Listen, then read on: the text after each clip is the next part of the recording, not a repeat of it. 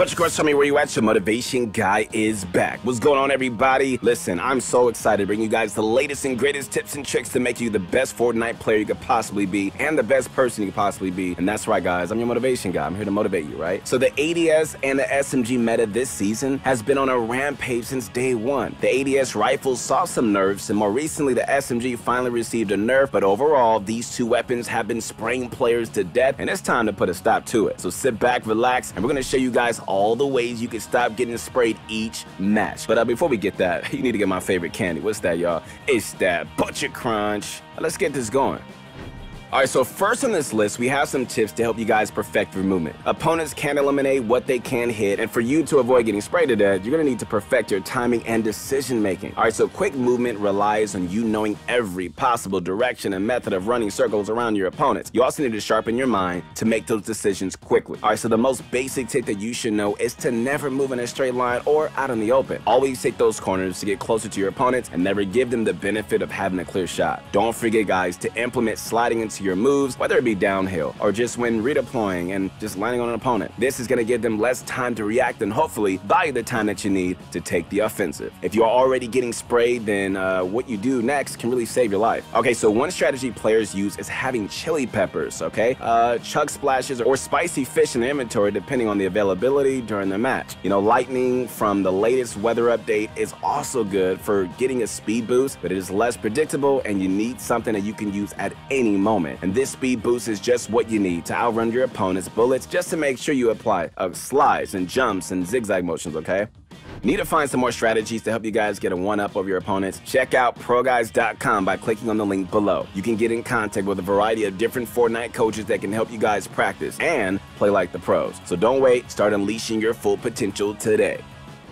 Alright, so we all know how easy it is to put down wood whenever you want to start building. However, since wood can easily be taken down, you should also consider some of the alternatives. I'm of course talking about stone and steel. Steel is probably the best material to build with, but uh, you know, due to the scarcity, we just don't recommend wasting on it, like protecting yourself with it from SMG and ADS rifle fire if you're going toe to toe with an opponent, alright? While it has the most starting health, it can also be brought down quickly if your opponent starts spraying as soon as you place it down. If anything, guys, stone should be the material you use if you have some good distance from your opponent. Stone can be harvested in bulk from rock formations all over the island and you know having a steady supply makes it way easier to replenish than using steel. The extra defenses will ensure that your opponent will have a harder time hitting you but also the extra cover is going to make your movements harder to spot from behind.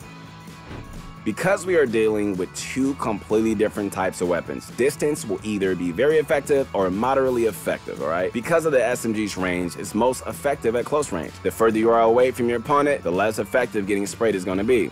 However, the ADS rifle is very effective at long range thanks to how it fires when aiming down with sights. It's also useful for making impossible peeks. Ironically enough, the ADS rifle isn't the best weapon to use up close and personal. It can be quite awkward to land that shot when your opponent is at point blank range and making sharp turns around you. This is more of a job for the SMG. Distance is also good for when you want to take the offensive and try to land a few hits yourself. If your opponent is coming after you with the intention of spraying you to death, then odds are their health situation is probably not too dire. If you can land a few hits before going on the defensive, you can just break their concentration a bit so they can just focus less on spraying your head and just taking a slower approach, all right? So if you have a good distance between the two of you, you can sometimes deter them from coming after you altogether. Keep in mind though, there are always going to be those players that's going to keep firing at you even if you get their health down to 20. They're just that determined to take you down.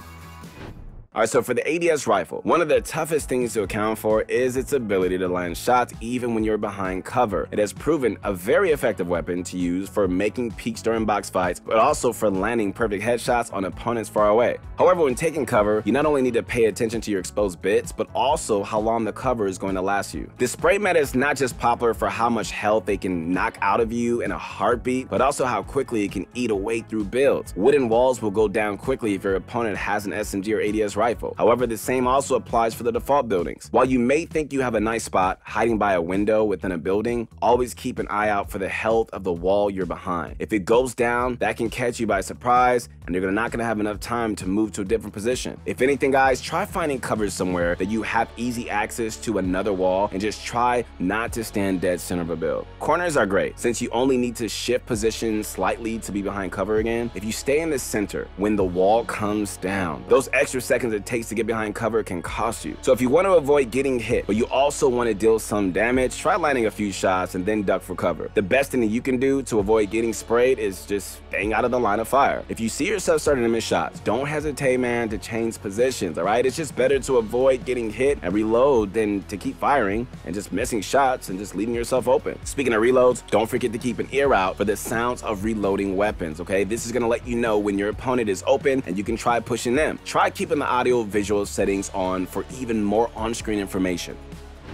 You know, sometimes when you need to start getting an edge in your opponents is adding a little bit of trickery into your plays. Getting sprayed only takes a few seconds of constant fire and direct hits to eliminate you. So much of this also depends on how well your opponent can predict your movement. This is how they know where to aim and can really already have their crosshairs on you when you turn a corner. So at times you want to make sure that your opponent has a multiple choice situation on their hands when trying to predict your movements. Building multiple ramps is a good way of getting high ground, but also forcing your opponent to predict which ramp you're going to be running up. In fact, if you want, don't even do that, all right? Turn the corner, and while your opponent is waiting for you to pop out the top, land a few shots from down below. All right, so deploying the shield keg is also a tactic that you can use to redirect fire and heal up a bit too. The shield keg is one of the newest items recently added to the game, and it's going to heal you and nearby players' shields. So what's interesting about this item on the playing field is how it affects combat. The shield keg is an item that gets deployed into the ground and has its own health bar. I Love it. And it's also going to continue to remain active during a certain period of time before becoming inactive. And so what's interesting about this item is how many players feel the need to destroy it in order to cut off healing. Because of this, deploying the shield keg gives your enemy an extra target to go after if they want to take you down. They can either continue firing at you and hope they don't need to reload anytime soon,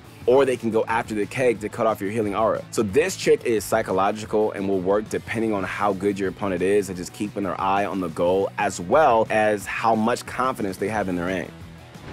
Alright, so speaking of healing items, the new spray meta means that you can see your health going from 200 down to zero pretty quickly. Because of this, guys, you should have some faster healing items on you at all time. These would be items that can heal chunks of your health in the least amount of time. And so these items include the Flopper and the Chug Splash. The Flopper is great for healing 40 health faster than it takes to apply a bandage. And, you know, the Chug Splash is just great for when you need quick health or shields. And so if a player is not on your tail, then you might not have time to really apply full heals, such as the Big shields or the medkit. The healing spray, while a great item for healing in other scenarios, isn't quick enough to give you that edge when you're just getting sprayed by bullets. So the best healing strategy would be to pop a few walls or turn a corner into a building, alright? This should give you guys enough cover and buy you enough time to apply heals. You're not gonna have much time before you're just getting blasted again, so this is where the fast healing items is gonna come in handy.